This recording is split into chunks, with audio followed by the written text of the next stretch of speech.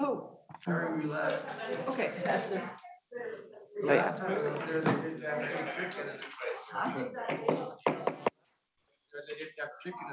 I remember. I'll tell you later.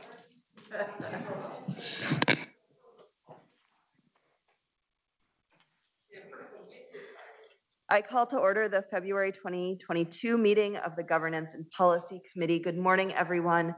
Thank you to those of us who are joining via the live stream video and to those attending in the boardroom here today in the Twin City, on the Twin Cities campus. Our first item of business today um, is action on the proposed policy amendments related to board-related reports. A lot of related in that sense.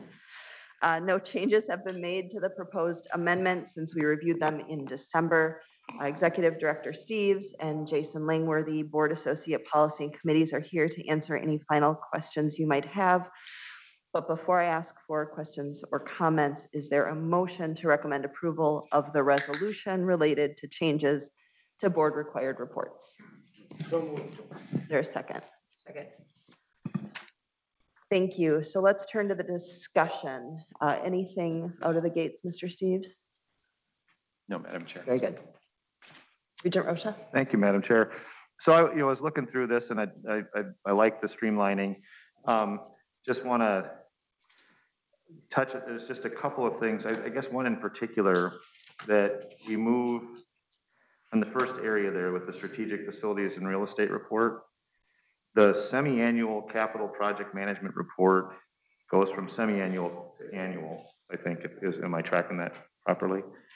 So I, my question, it would be, um, you know, sometimes we've got some pretty big capital projects. Um, there would, would have been some wisdom, I think, at some point to check on those every six months. Six months is a pretty good chunk of time. Um, is there any concern that, you know, you know, we will not be tracking what could be, you know, hundreds of millions of dollars in capital projects, um, but once a year?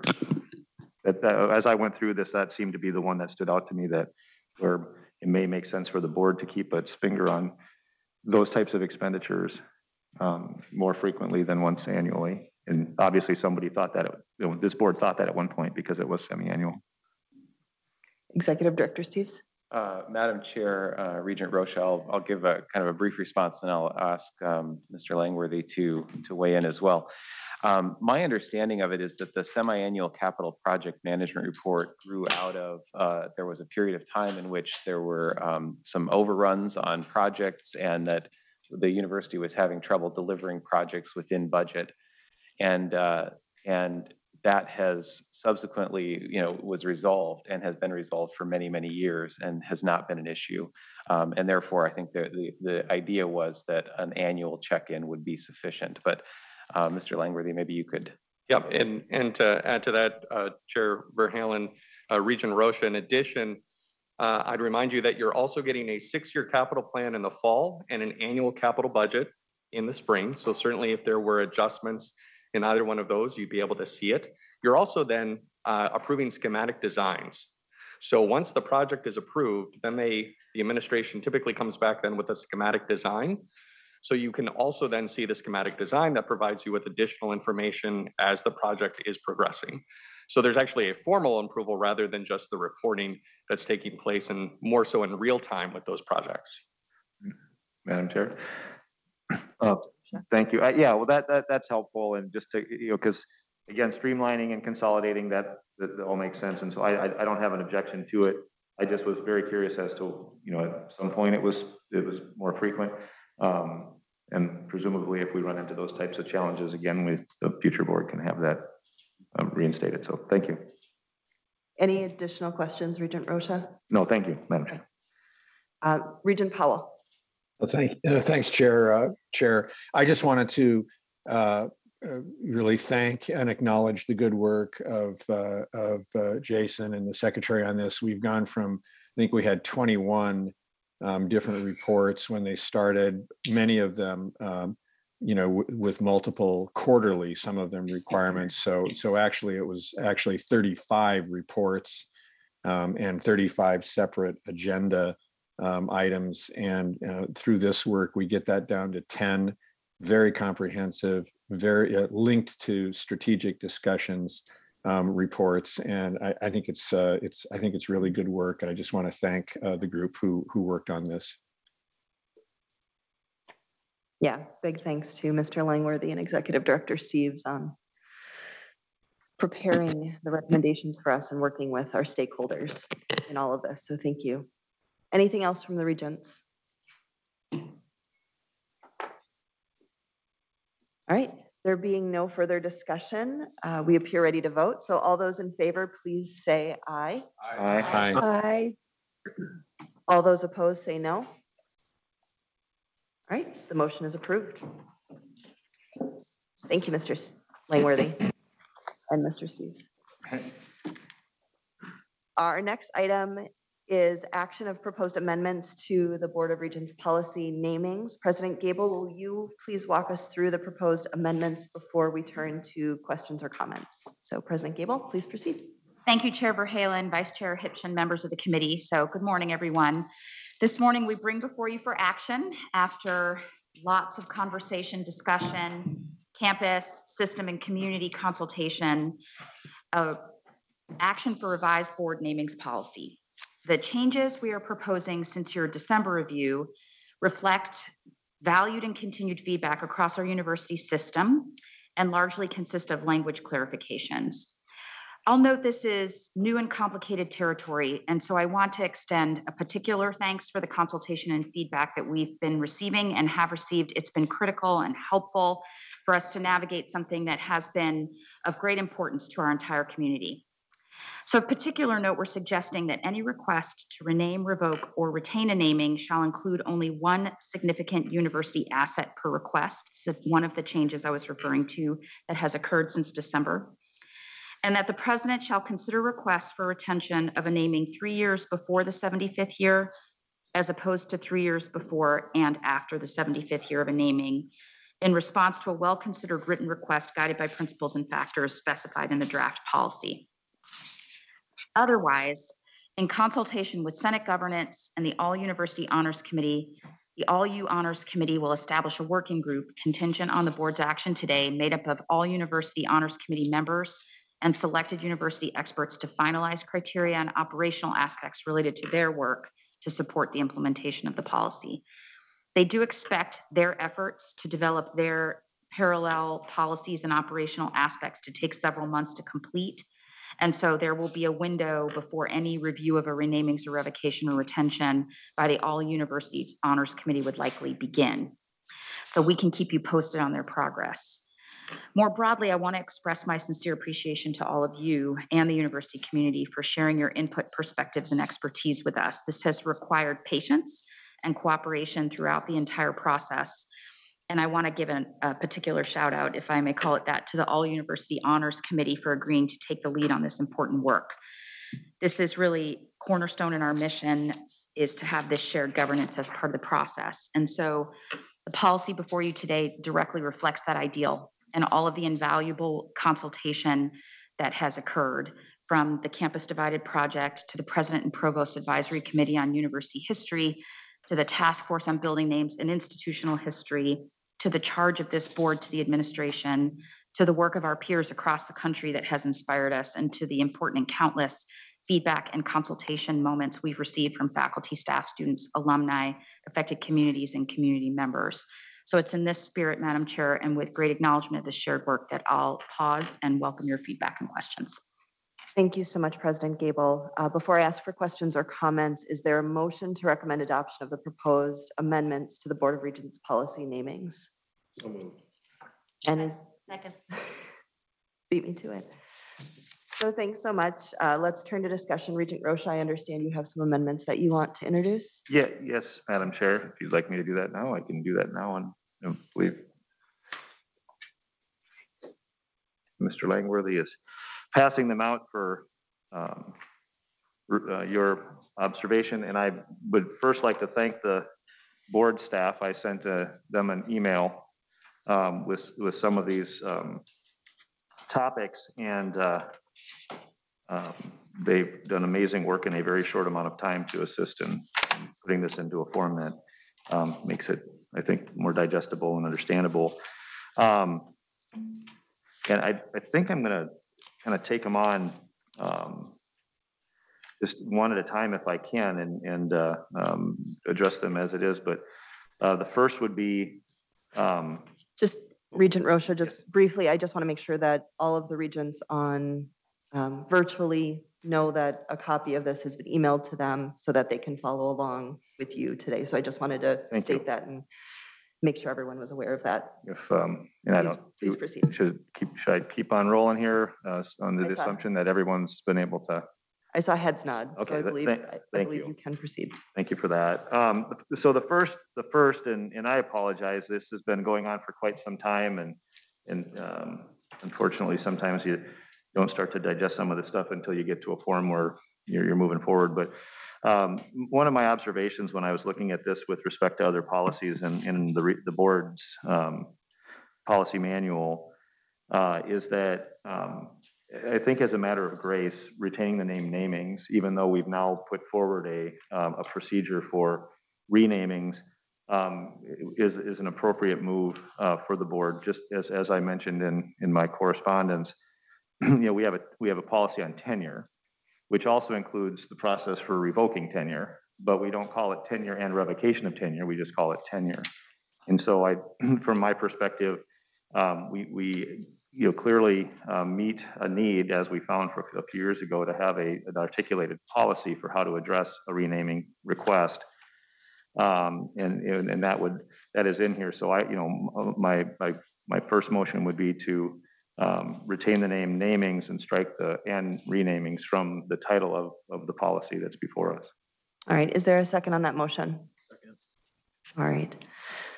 Um, Having heard your rationale, Regent Rosha, is there anyone else who wants to speak to this moved amendment on the policy?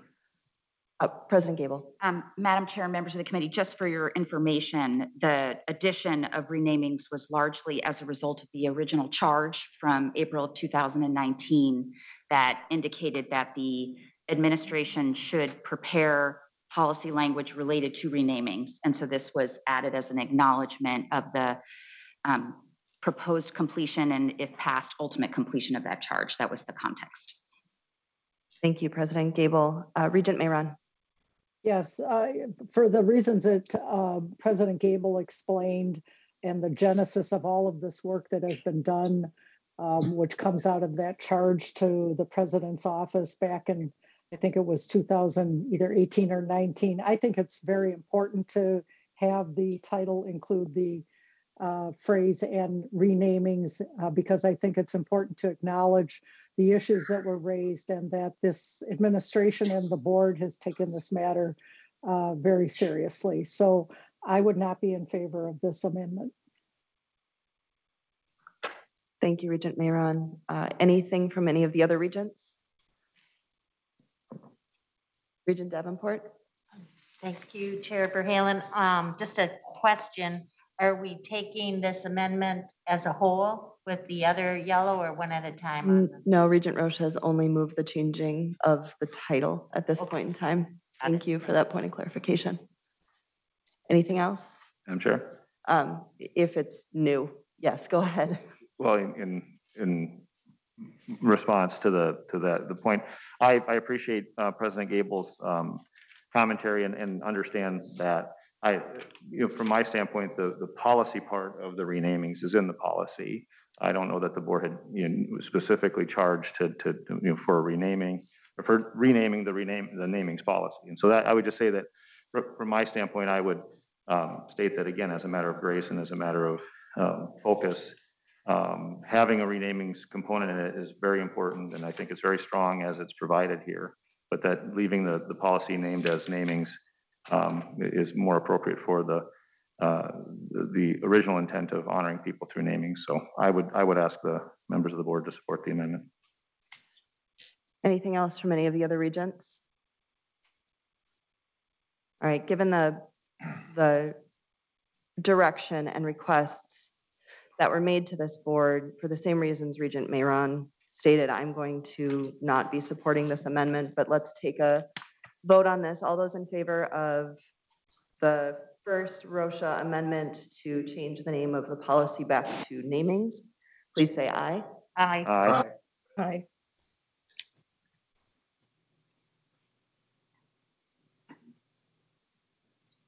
That was all those in favor of the Rosha amendment to change it back to namings? Aye. Aye. Yeah, I think.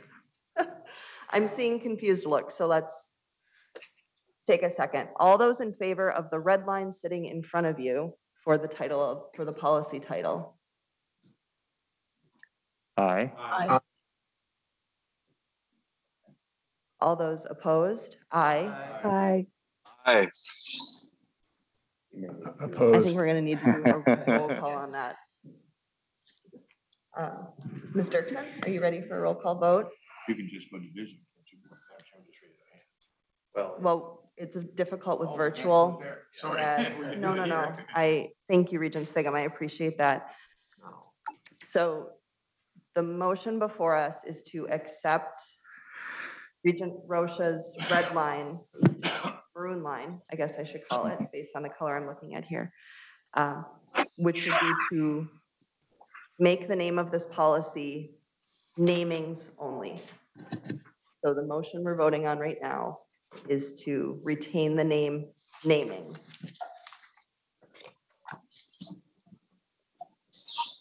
Ms. Dirksen, please proceed.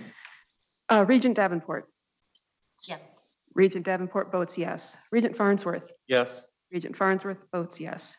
Regent Huebsch. No. Regent Huebsch votes no. Regent Johnson. No. Regent Johnson votes no. Regent Kenyanya. Yes. Regent Kenyanya votes yes. Regent Mayeron. No. Regent Mayeron votes no. Regent McMillan. No. Regent McMillan votes no. Regent Powell. No. Regent Powell votes no. Regent Rosha. Yes. Regent Rosha votes yes. Regent Sviggum. No. Regent Sviggum votes no. Regent Thao-Urabe. Yes. Regent Thao-Urabe votes yes. Regent Verha, or Chair Verhalen. Hello. No. Chair Verhalen votes no.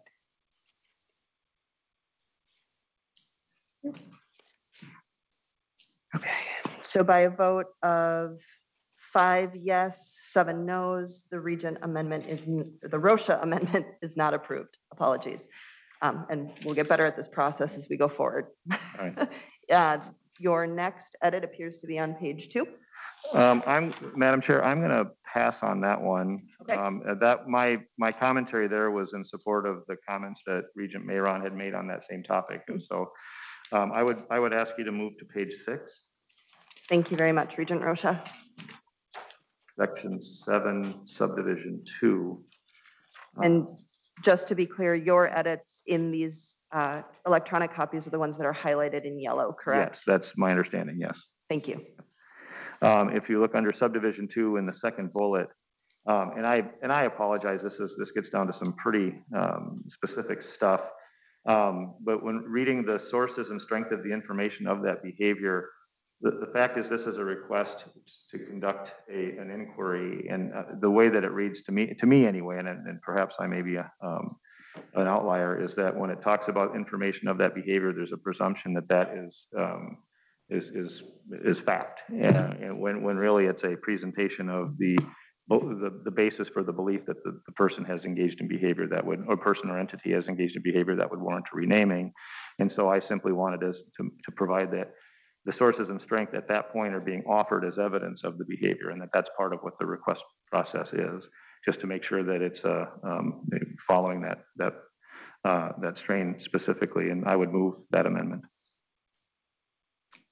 All right, so you are moving the red line is sh- the maroon line. The edit is shown in bullet two, subdivision two on page six. Is there a second? Second. And the, and it's not, yeah, it's just simply the, the highlighted offered as evidence of that behavior. Thank you for that clarification. Are there any regents that wish to speak to this amendment?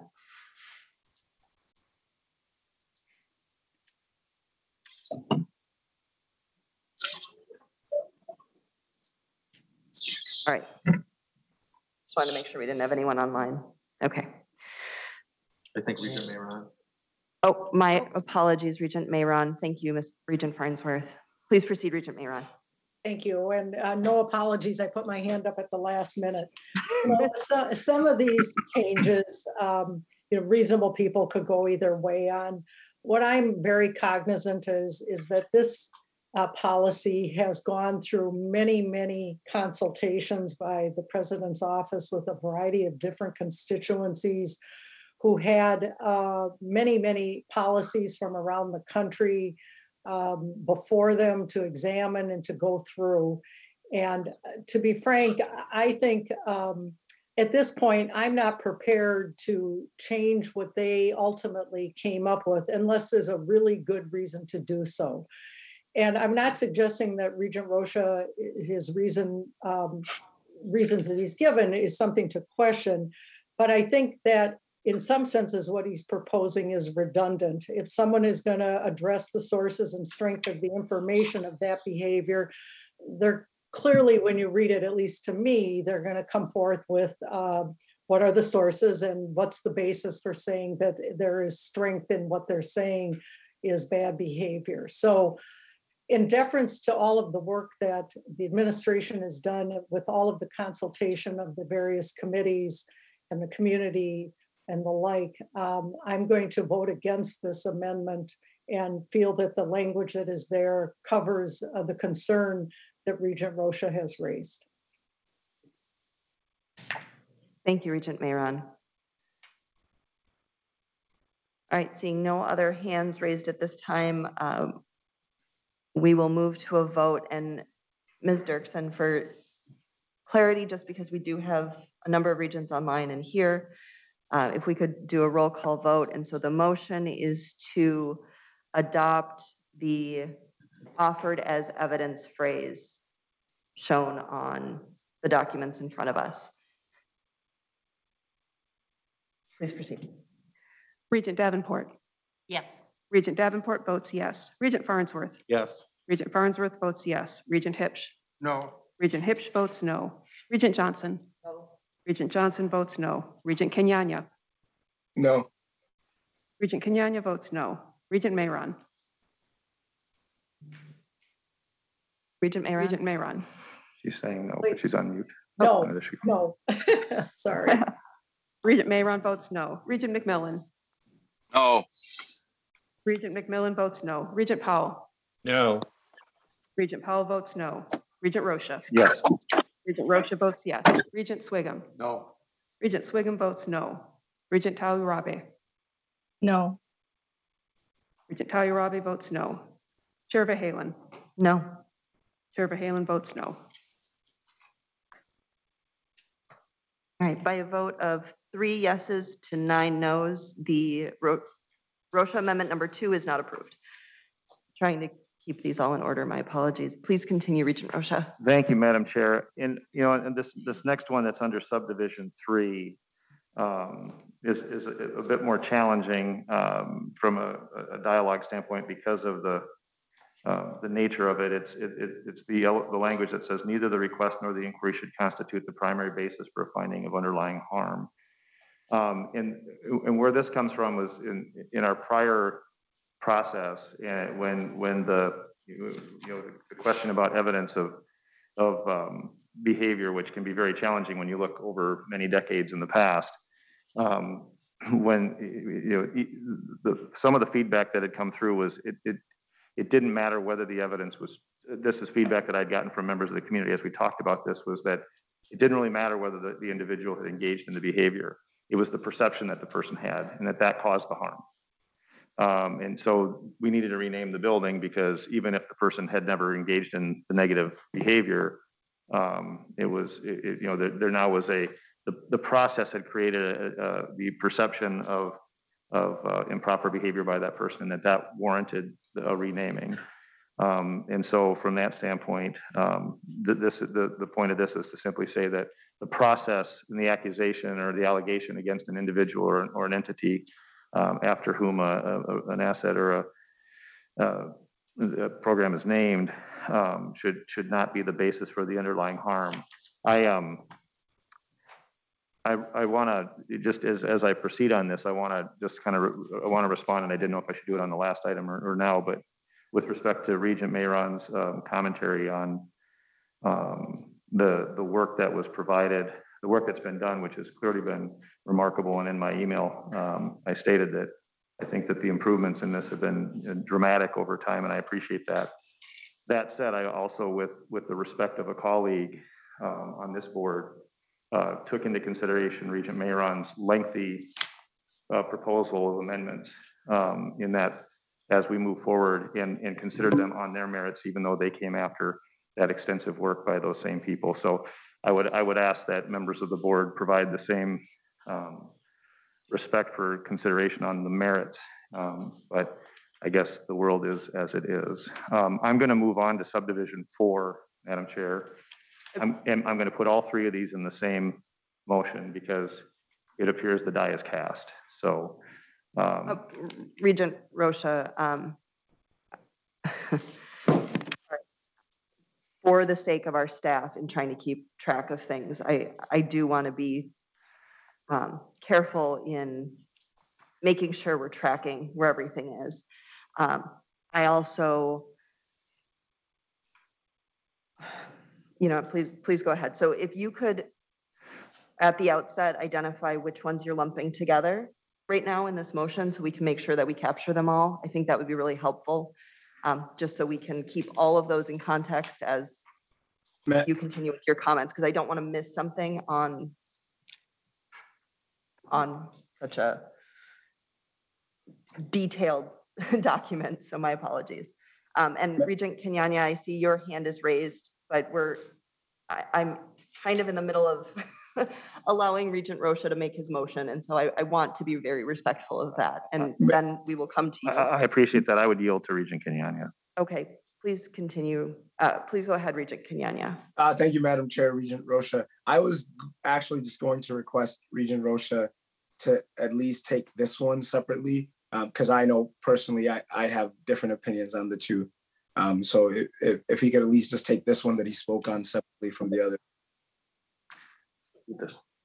Um, Regent, um, I'm, Okay, Madam Chair. um, Regent Powell also Well, I had was his just hand going, raised. thank you, thank you, thank you, Chair. I was just Okay. going to um, support uh, Regent Ken- yeah, Kenyanya's uh, comment, which is, I think it's actually uh, quite helpful to take these um, one by one, just to avoid, um, you know, confusion and different people may have different points of view. So I don't know what the chair's prerogative is here or versus the person making the motion, but uh, for what it's worth, I think it's really helpful to do them one by one.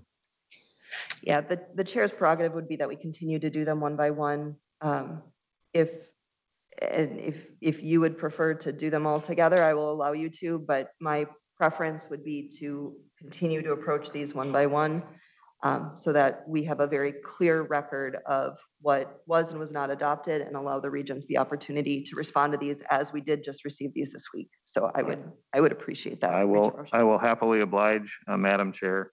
um, And to avoid people from having to move to separate them, I will just separate them at the outset. And, Thank you. excuse me, so, uh, thank you, Madam Chair, if I may.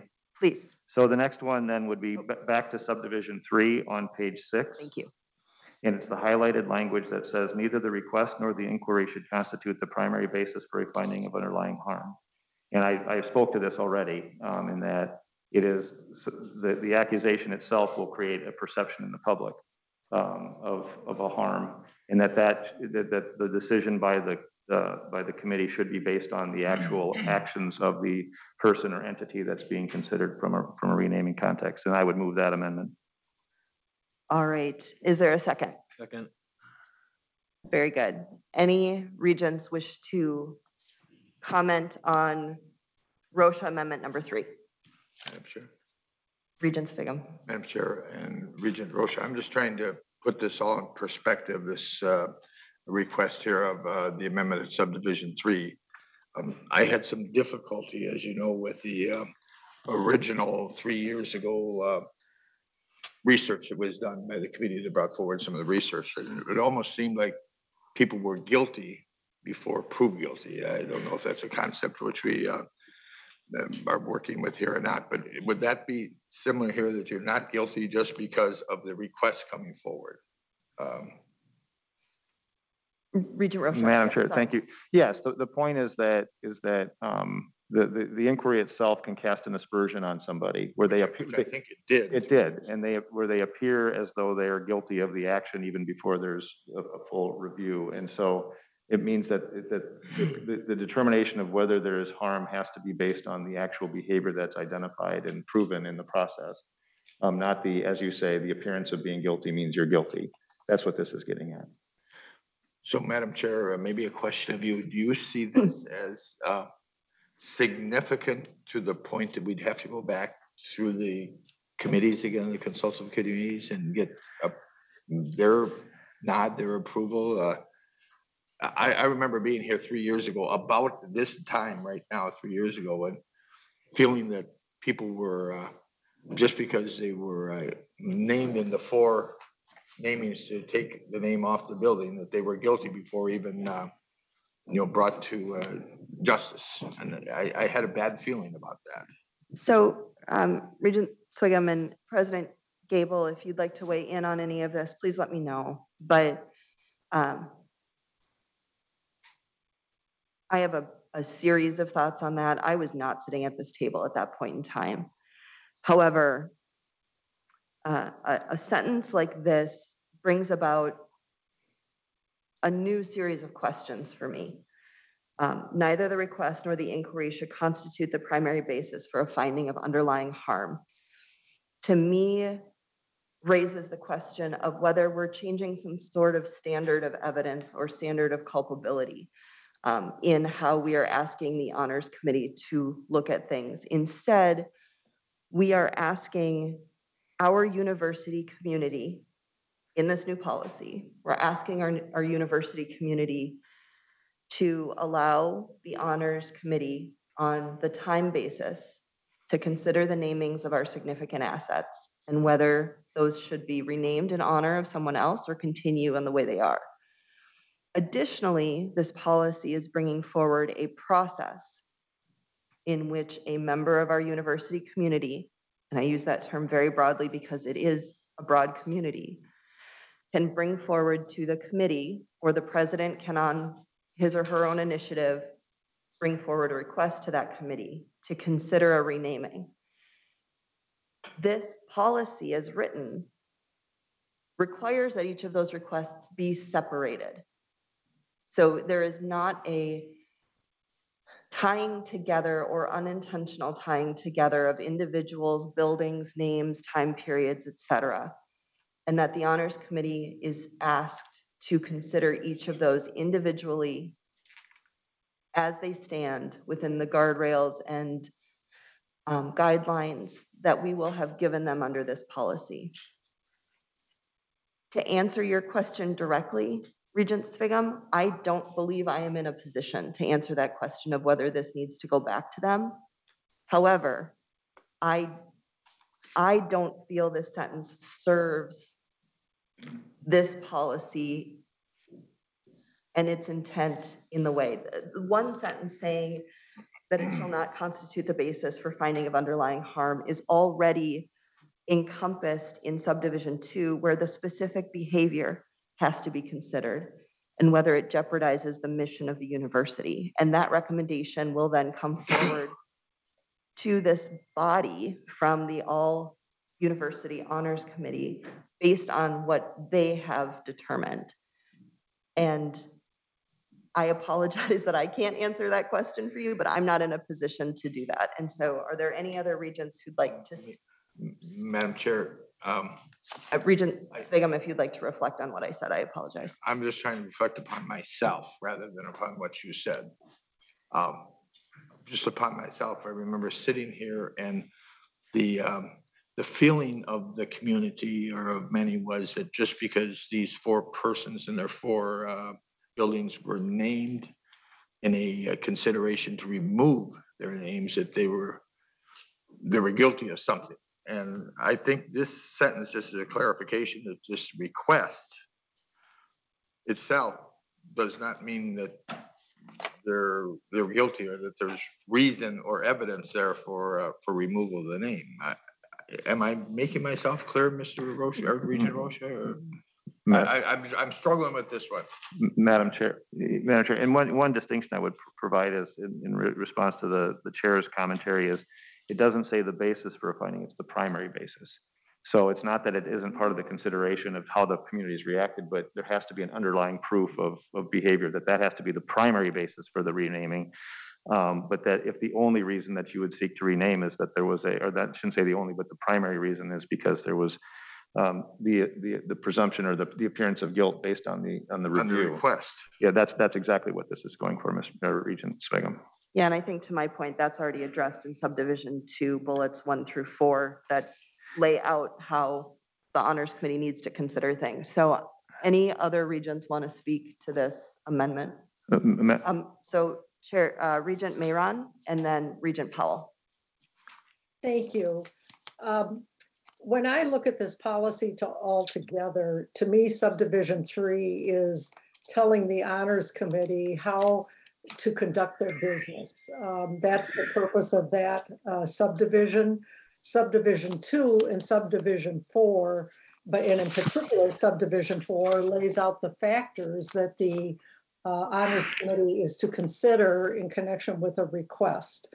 And as you can see, it doesn't, um, none of those factors, either in subdivision four or the bullets that are in subdivision two, uh, um, talk about, and I don't think it would be appropriate to talk about that merely because a request was made that somehow that that will drive the outcome. So for me, th- this provision is unnecessary. Um, It certainly, do- in my view, doesn't belong in subdivision three. But I don't think that it's necessary in that we have put the guardrails around the honors committee as to what they need to consider, what factors they should consider, and they're laid out in subdivision four. And so I'm satisfied that this um, additional sentence offered by Regent Rosha is not necessary. Thank you, Regent Mayeron, Regent Powell. Um, Thank you, uh, thank you, Chair Verhalen. Um, I- Not, a- not a lawyer, um, and so I'm finding this a little bit murky, but I mean, it just seems to me that, you know, once an inquiry is initiated, you know, there may or may not be a perception, but in, in a way, the die is cast. So I, I don't know that we can really do anything about how different groups might perceive an inquiry, an inquiry. Um, so that's the first point. But the second one is, is that, you know, ultimately these, uh, these things will be decided by the Board of Regents, you know, who have the ultimate authority here, which, you know, gives me, you know, great comfort in some of these um, subtle points. Madam Chair. Regent Sviggum. Madam Chair, I'm sorry, but this is, uh, yeah, I'm, I'm not a lawyer either. I'm a seed farmer, okay? I'm just trying to figure out my feelings here and the perception that people have. Regent Mayeron's um, comments about uh, subdivision two and subdivision four and how they hold together with the inquiry or the request are very helpful, Regent Mayeron, very helpful. I think that, uh, that helps put it together for me. Um, I, I just want to make sure that, uh, just because there's a request, there's not a, that perception of guilt or perception of, uh, something being wrong has, back, Madam Chair, could I ask Regent McMillan a question? I'd like his, I'd like his advice on this because he was sitting in that chair, if I remember correctly, when we dealt with this three years ago. And Regent McMillan, I'm, I'm looking to you, uh, my, my elder for, no, not my. Wow. This My just leader took at a that time turn. for advice on this. I, I think you know where I'm coming from, Regent McMillan. And the perception that was there that day or that month, uh, when we dealt with it. And I just, I, I would just want to make sure that the inquiry doesn't mean wrong, doesn't mean guilt, uh, that the, uh, request doesn't mean uh, guilt. Uh, Help clarify it for me if you would, Regent McMillan. Regent McMillan, if you would like to respond. Thank you, Chair Verhalen. I thought I'd stayed out of the room long enough to avoid this. Uh, Apologize for my uh, late arrival, but I have been participating from the beginning and nothing, nothing in my experience as a region, is quite as crystally uh, etched in my mind is uh, what we went through in 2019. Um, Excuse me, So let me, Regent, before you go on, I think I spoke wrong.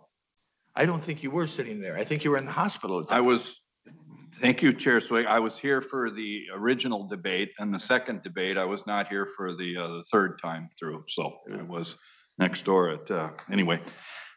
As best I can answer that, I, I think that, uh, Regent Powell and Regent, Mayeron have captured my perspective on this. Yes, the creation of an inquiry creates some kind of a perspective and a perception. And I don't think that the language that Regent Rosha, while I respect it and understand it, I don't know that it changes anything. I kind of land where, where, where, where Regent Powell did a few moments ago, and that is that uh, we'll ultimately have to make the decision. And if somebody brings a request forward, I think the public and the people that watch our processes are going to draw their own conclusions and what our policy says as to whether that existence of an inquiry is somehow, you know, damning in nature, I, I don't know what we do about that. I don't think we can, and I don't think this language helps for me if I was on the sidelines watching this, that, uh, oh, wow, somebody felt that this person, you know, didn't, uh, has a track record that, uh, we need to rethink. I, I, don't know how we change that. If it happens, it happens, and we have to do our best job to come up with a solution at that point in time. The issue that uh, you're remembering, Regent Sviggum, is you're remembering it correctly. But I don't know that if this had been in our policy at that point, it would have made any difference whatsoever in 2019, and it doesn't in 2022. So I'm gonna, I won't support this change. Uh, last, we'll go to Regent Farnsworth.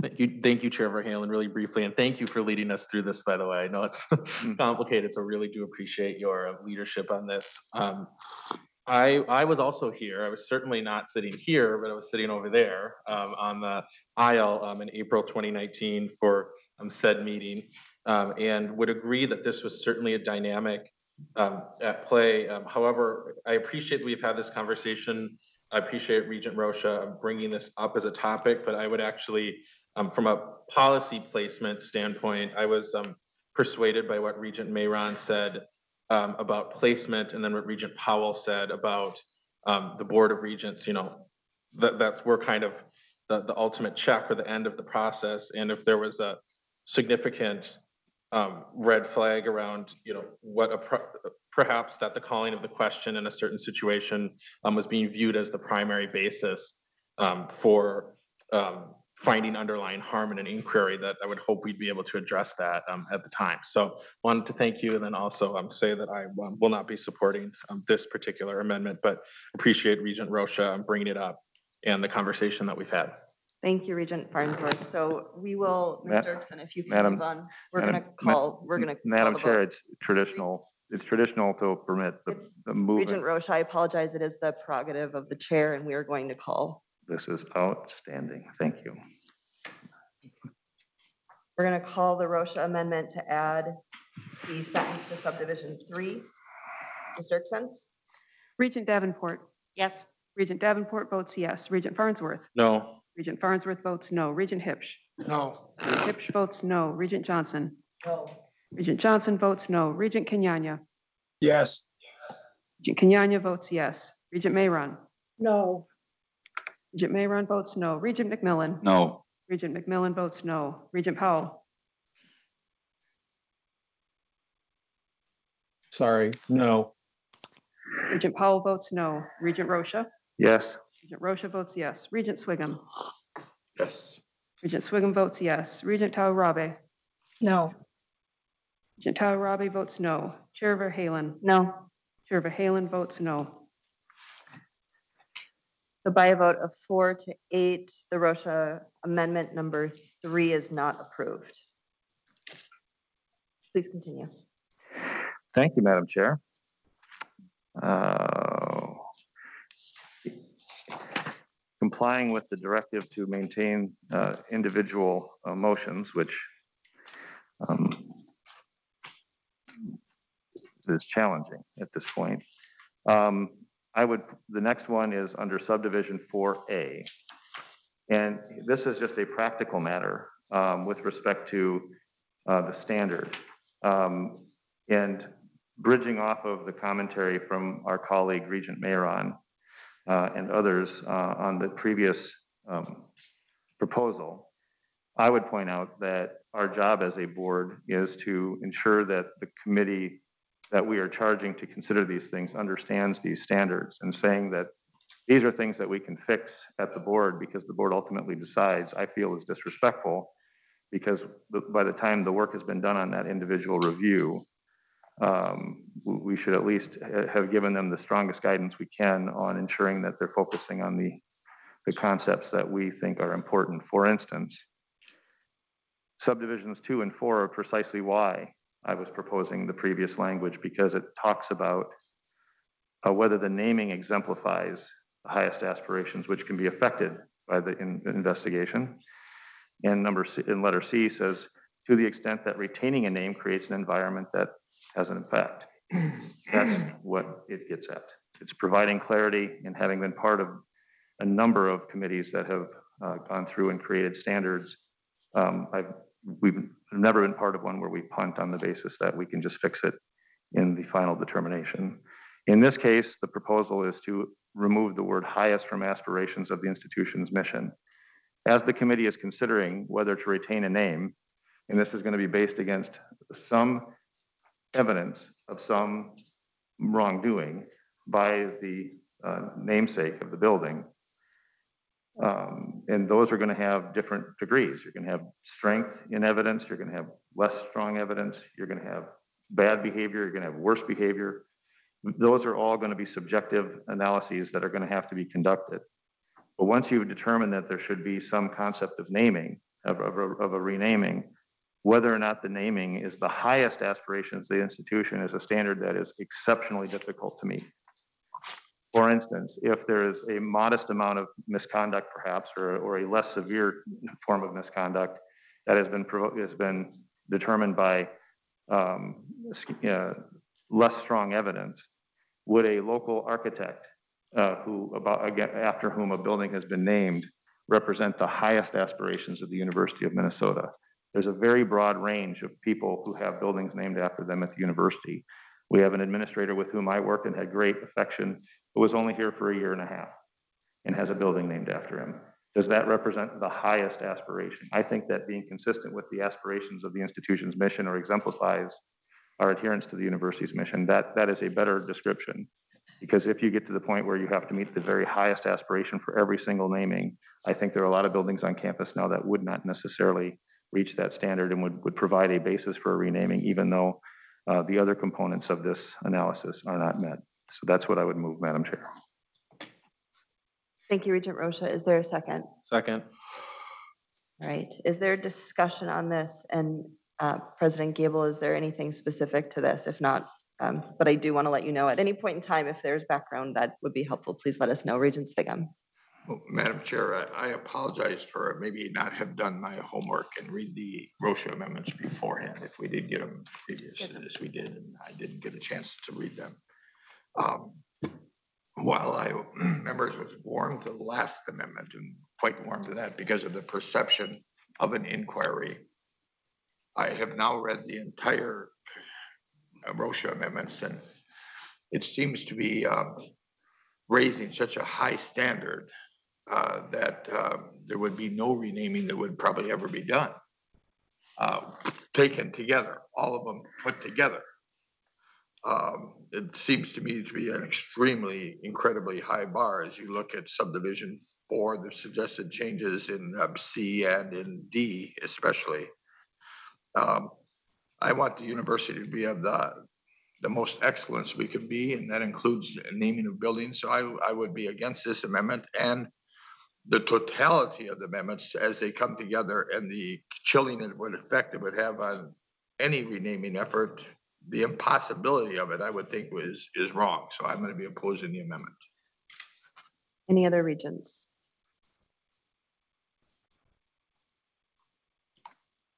Oh, thank you so much. Uh, Regent Powell. Thank, thank you. Thanks, Chair Verhalen. Um, Just a, you know, quick one here. I, mean, exceptionality is one of the guiding principles and, eh, you know, we just, you know, we are really looking to, for, you know, distinguished individuals, whether it's highest aspiration or aspirations isn't, I- I don't know. But I, I do think that we should be protecting um, the principle of exceptionality. And in, in my view, the words highest aspirations, you know, is supportive of that. Um, look, there's plenty, there's room for, for interpretation in all of these, and I think that, you know, future boards will do that, but I would be opposed to this amendment for those reasons. Thank you, Regent Mayeron. Uh, I think that, that, uh, both Regent Sviggum and Regent Powell expressed my views on this. I, the whole thrust of these namings issue is we are talking about people, uh, honorary names, namings after people who have made extraordinary contributions to the university. That's what's, des- this is designed to capture. And I think, um, anything that would water that down uh, or dilute that, I think would uh, take away from it. So I will not support the proposed amendment, adding the word or deleting the word highest. Thank you. All right. um, Sorry, just one second.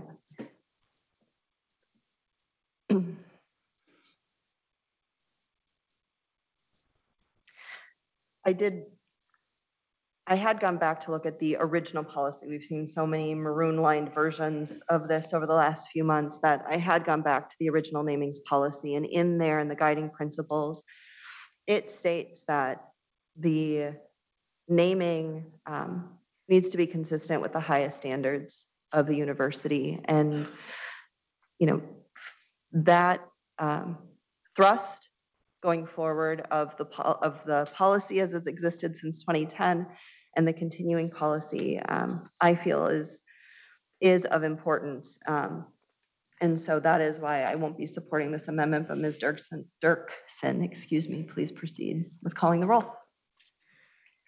Regent Davenport, No. Regent Davenport votes no. Regent Farnsworth, No. Regent Farnsworth votes no. Regent Huebsch, No. Regent Huebsch votes no. Regent Johnson, No. Regent Johnson votes no. Regent Kenyanya, No. Regent Kenyanya votes no. Regent Mayeron, No, Regent Mayeron votes no. Regent McMillan, No. Regent McMillan votes no. Regent Powell, No, Regent Powell votes no. Regent Rosha, Yes. Regent Rosha votes yes. Regent Sviggum, No. Regent Sviggum votes no. Regent Tawny no, Regent Tawny votes no. Chair Verhalen, No. Chair Verhalen votes no. All right, by a vote of one to 11, the Rosha Amendment is not, Rosha Amendment number four is not approved. Please continue, Regent Rosha. Thank you, Madam Chair. Um, So the next, uh, there's, I guess, two left. Um, I would be happy to do them jointly as uh, I think that would be saving time, but if the preference is to continue to handle them individually, I'll do that just as well. Collecting merit badges along the way, apparently. I, the substantially in front of impairs, as I stated in, in my uh, email explanation to the board office, I substantially feel, feels like it's too strong, but I was struggling to find a better word. And the reason being that the absence of any descriptor to the level of the impairment leaves it at such a low standard um, that it, you know, becomes, um, uh, you know, almost a, a non-standard uh, to itself. Um, and with respect to the, the commentary that the proposed amendments make it impossible to have any building renamed, I would strongly disagree with that. Um, in fact, um, had, had the research, uh, had my time over at the Minnesota History Center uncovered evidence that supported the allegations against the people that were up for um, consideration of renaming, had that borne evidence that the allegations were true, I would have found those under this standard um, to, to merit a renaming uh, under the circumstances. I believe that they would not have met the aspirations of the institution. I believe that they would not have uh, they would have substantially impaired uh, large numbers of students in with respect to their uh, educational experience. Um, But that I think that if, i- without have, with, it's simply a matter of anyone claiming an impairment, it's very subjective, it's a very low standard, and it puts the board and the committee in a, in a difficult spot um, as to whether, uh, whether a renaming is, is validated. If, uh, I mean, anticipating one of the counter arguments, and, and, you know, again, it's a, this is an interesting exercise, but um, to say that, well, the president wouldn't move something forward if there wasn't a substantial impairment or otherwise, um, lead, will lead some folks um, to be concerned about whether they're getting equal access to this, this consideration. But that, you know, demonstrating that there's a, that there's a more meaningful impact on somebody because of uh, the nature of the allegations and the proof of those, of the bad behavior. I think that serves the committee better, and I think that it creates a standard that will be more accurate in reflecting what we're looking for um, for the times that we would rename a building based on these principles. Thank you, Madam Chair. I move this amendment. For clarity, are you, are you moving for C and D's revisions or only for C at this time? You asked that I do them one at a time, so it is only C. Thank you. Is there a second? Second. Any discussion? Madam Chair, Commissioner Sviggum? I'm sorry. This is important stuff, you know? Absolutely. And um, Madam Chair, I, uh, I, I tend to disagree with my uh, colleague, uh, Regent Rosha, as I read through all the amendments. I think it, uh, specifically three years ago, I don't think the case was made to change the names of those four buildings. I think it was wrongly brought forward and probably not substantiated the way it ought to. But with Regent Rosha, you cannot say that reading through the series of amendments you have here doesn't significantly or greatly change the process uh, for, for any renaming. It, it changes it, this uh, standard extremely, extremely high. And uh, I disagree with your, your comment that it does not significantly change the process. And my guess is not only uh, does it significantly change the process, but my guess is this would all have to go back again through the committees that President Gabel had set up and that through it's been filtered and vetted. Uh, So I speak against this amendment as well as the next one, and I won't bother speaking on the next one. I'm not going to hold you to that, Regent Sviggum. Regent Mayron, I, I- Regent Rosha, I certainly understand what you're trying to do by adding that word substantially. uh, And I understand why you would struggle with what's the appropriate word to use. But to be frank, I don't think it improves the task of the honors committee in terms of what they have to consider. Uh, What, if they are being told to look to see if there is an impairment. Uh, But the good news is for me is that they have it's embedded among other factors that the honors committee must look at as well. So it's not a standalone provision that will drive the outcome. So I don't think that adding that language makes it any easier or improves uh, on the matter. Um, And so for those reasons, I will be voting against the proposed amendment. any other regents wish to speak on this? Mm, Amendment number five.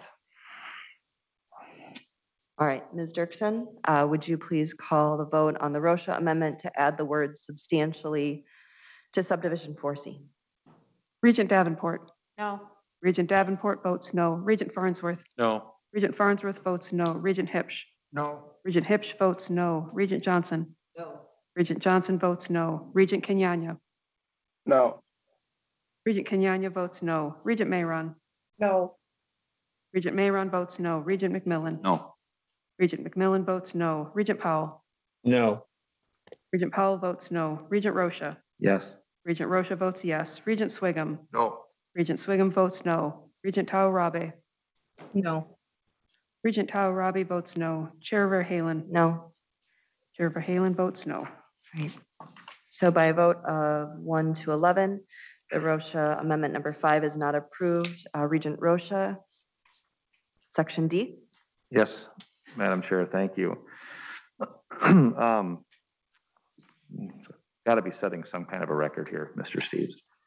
Uh, With, with respect to this, I, I, I, I- do have to come back to, I, I- I would appreciate, um, as we have these kinds of dialogues, and it's actually refreshing that we're having a dialogue about policy. um, in, in, in, in an open forum. Um, But I, I would, I would rather not have words put in my mouth. um, And I would rather not have um, the effect on my determinations being um, uh, predicted for me. I, I don't believe that these um, provisions would have stopped a renaming had the facts been proven, and this is the transition into this language. Uh, the fact is, if it had been determined that in the, this last century, in the 20th century, we had a president who had been openly advocating for segregation or had been enforcing segregation in university housing as opposed to seeking ways of moving forward with integration, which was the case by the evidence that I discovered. If they had been pushing and, and, and reinforcing that on a racial basis, at a time when other institutions had been moving forward with integration, I would have found, even with all of the changes that I have put forward, that that would have warranted a renaming of, of any of those buildings, if that were the case. Uh, The purpose of this is, in, in, I'll read it, in evaluating the culpability of the individual or non-university entity for wrongful behavior, the honors committee shall recognize the time and cultural context in which the behavior occurred. It only requires a recognition of it. It does not require it to control. And the, the very fact is, if we don't, if we don't recognize the cultural context, I would suggest, and in fact, I think some may, on this board may invite, that virtually every building that was named after somebody before perhaps 1960 um, would warrant a renaming. Because in the context, you're going to find that it was generally a single gender enterprise and all leadership surrounding these, you know, th- those very individuals were of a single gender. Contextually, that was what was almost universal in the world and, and uh, was not perceived in the same way that we perceive it now as being an injustice. So be that as it may, I would move the, the, the amendment and uh, welcome your commentary. Thank you, Regent Rosha. Is there a second? Second. All right, any regents wish to comment?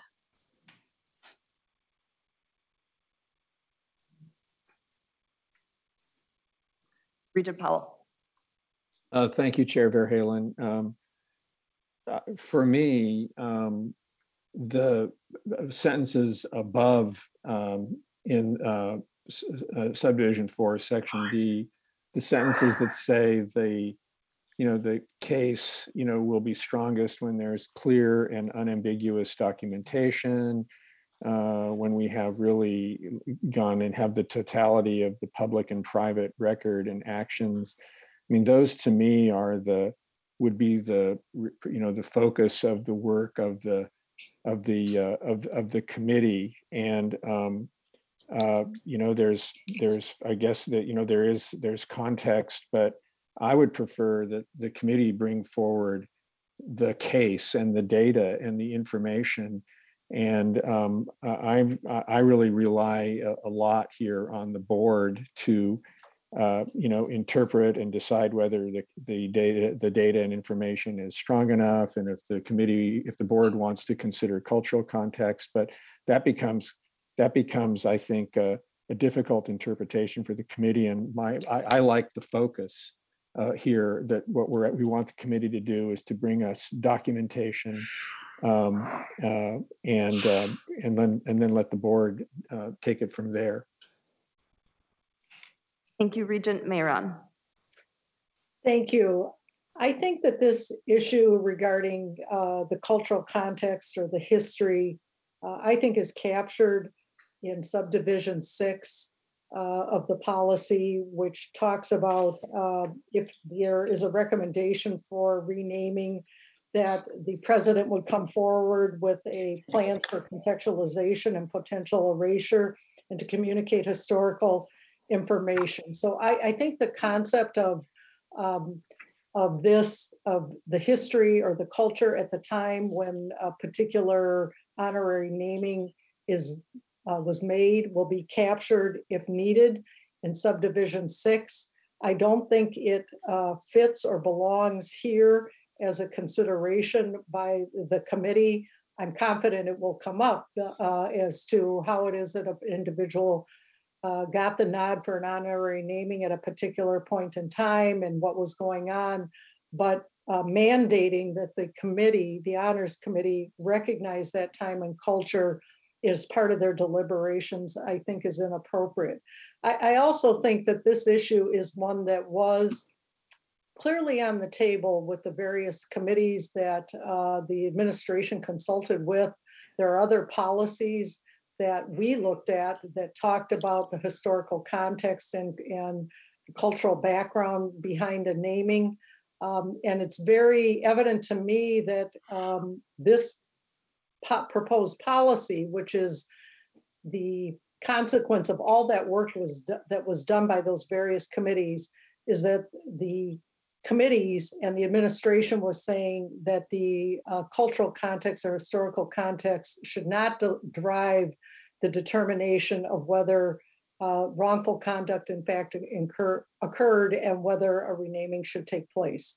So I, I think the matter about history and culture gets captured under subdivision six.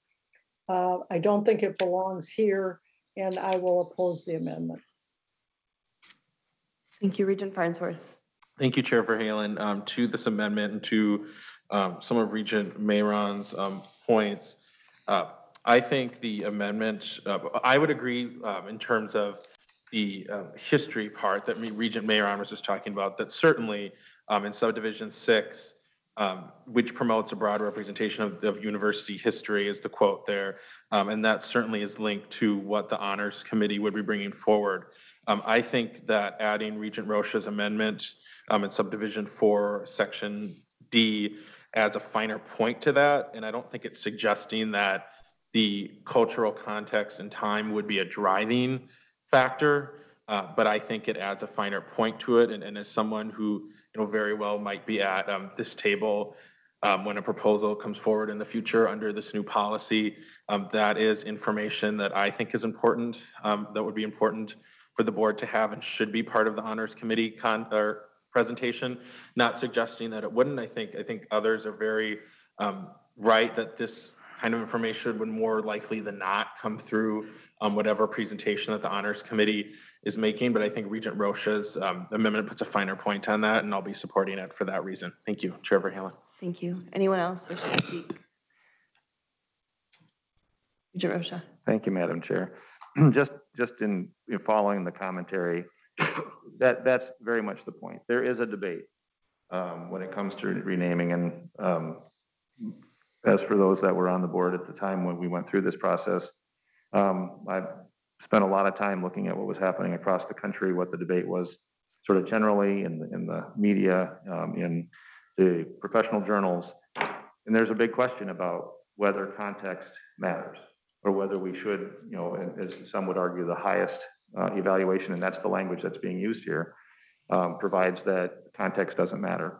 It's what do we aspire to today? I, I think that there's an, I, think that's an, un- an unfortunate standard because I, I do think that there's a tremendous advantage of hindsight and being able to look back over time and make decisions about how somebody should have acted at a time where they were living in a different environment with different standards, mores, and so on.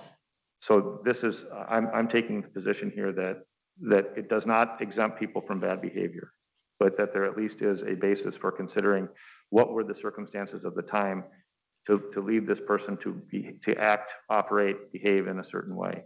And, and that that is something that at least should be con- considered in the context. There are those that don't think it should be. I think it should be, and that's why I proposed the amendment. Thank you. All right, not seeing anyone else. Uh, Ms. Dirksen, will you please call the roll on Rosha Amendment number six to add that sentence to the end of 4D as in Delta? Regent Davenport, No. Regent Davenport votes no. Regent Farnsworth, Yes. Regent Farnsworth votes yes. Regent Huebsch, No. Regent Huebsch votes no. Regent Johnson, No. Regent Johnson votes no. Regent Kenyanya, No. Regent Kenyanya votes no. Regent Mayeron, No, Mayeron votes no. Regent McMillan, No. Regent McMillan votes no. Regent Powell, No. Regent Powell votes no. Regent Rosha, Yes. Regent Rosha votes yes. Regent Sviggum, Oh. Regent Sviggum votes no. Regent Thao-Urabe, no, Regent Thao-Urabe votes no. Chair Verhalen, No. Chair Verhalen votes no. Right, with a vote of two, two to 10, uh, Rosha amendment number six is not approved. Are there any other amendments? Regent Rosha? That's the whole shebang, Madam Chair. Right. Thank you for everyone's um, patience as we walked through that. Um, I know it was tedious, so thank you, uh, but wanted to make sure we were clear on, on each of our steps. So we are back to uh, the motion and second that were first made, which is for um, the Board of Regents policy namings and renamings uh, as presented by President Gabel. Are there any comments on that, Regent Farnsworth? Thank you, Trevor Verhalen, and just wanted to thank President Gabel and her team. This has been a long time coming.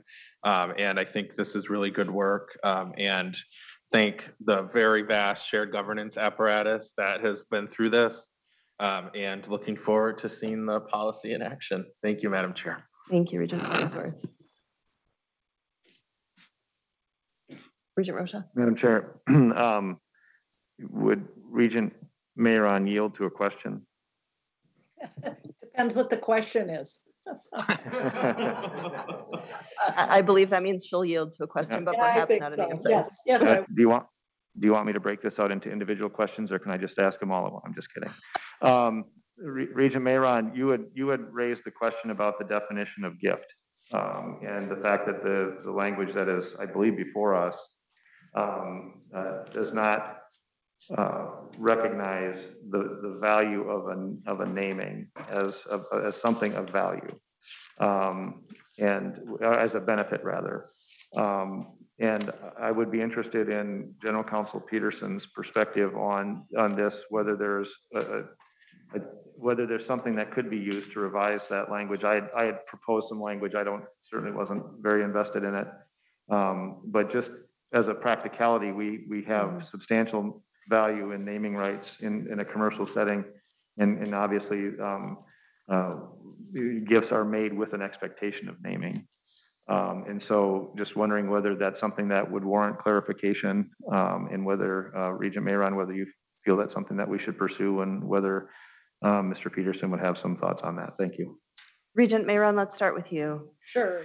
Um, I, I do think that it is worth taking a look at that language on gifts and sponsorships. In fact, um, doing some more digging on this, I learned that there is a Board of Regents policy on gift solicitation and acceptance, and there's also an administrative policy called accepting and managing gifts. In that administrative policy, actually, there is a definition for gifts in there, and there's a definition for sponsorships.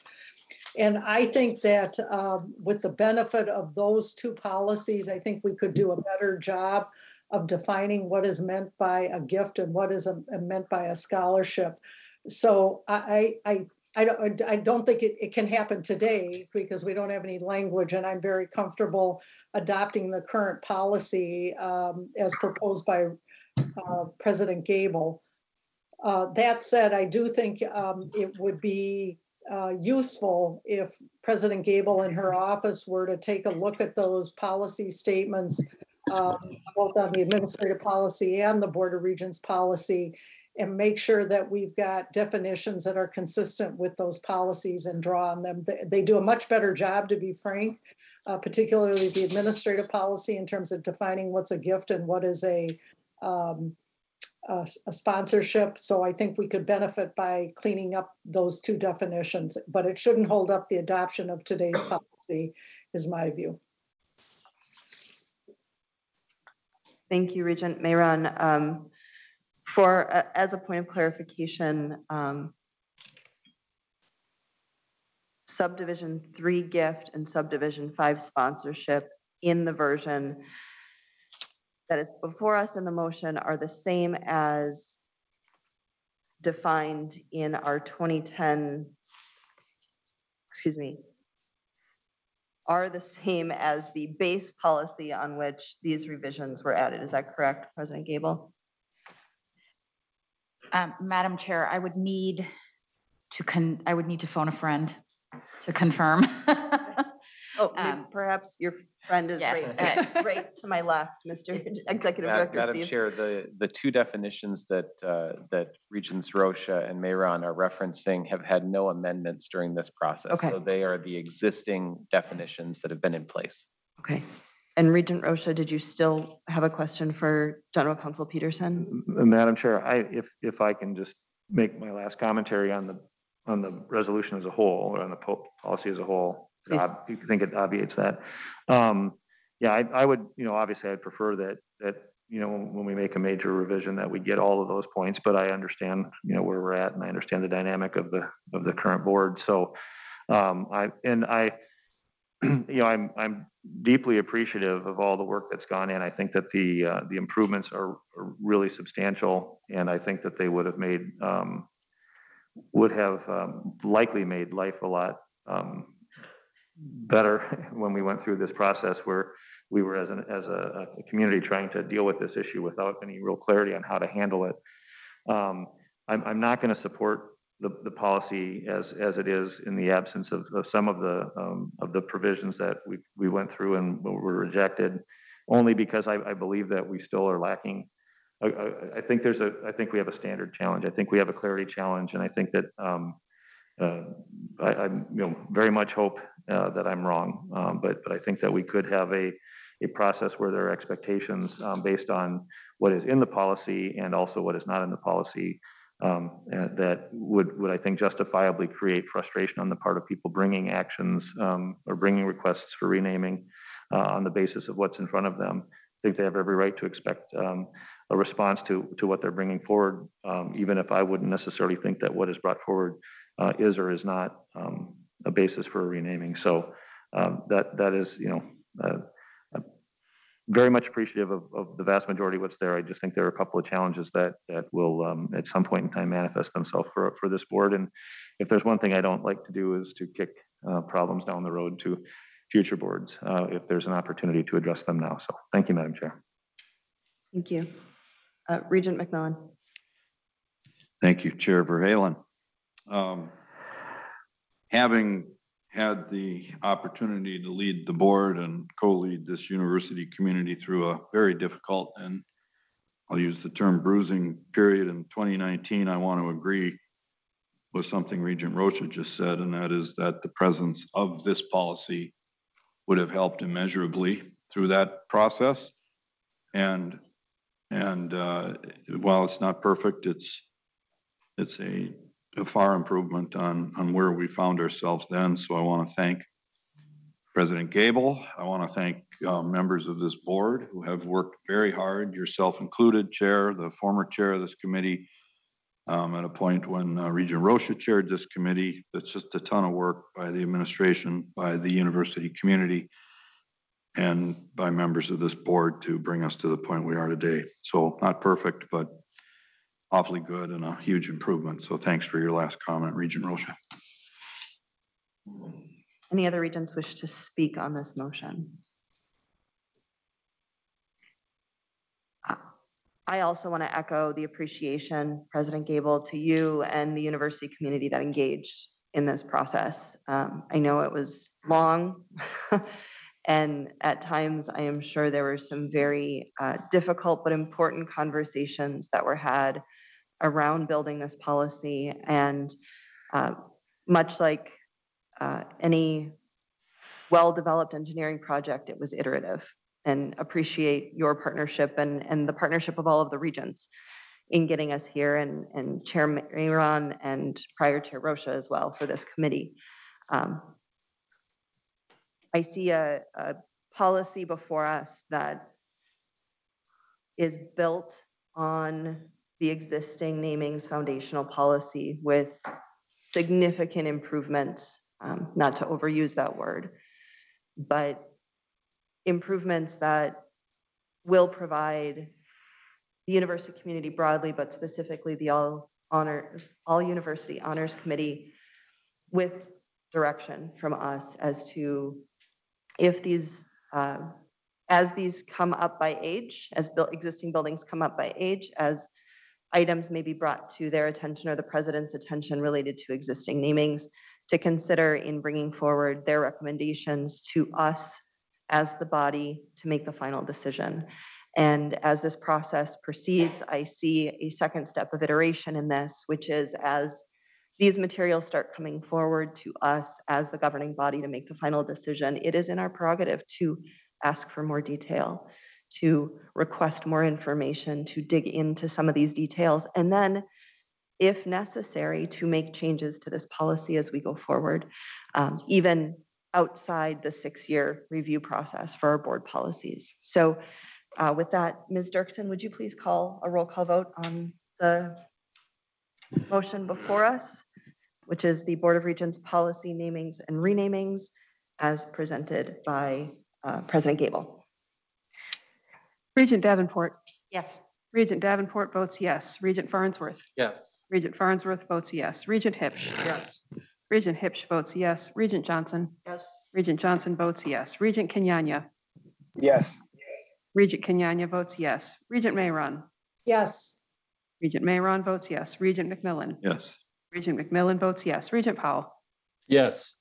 Regent Powell votes yes. Regent Rosha. No. Regent Rosha votes no. Regent Sviggum. Yes. Regent Sviggum votes yes. Regent Thao-Urabe. Yes. Regent Thao-Urabe votes yes. Chair Verhalen. Yes.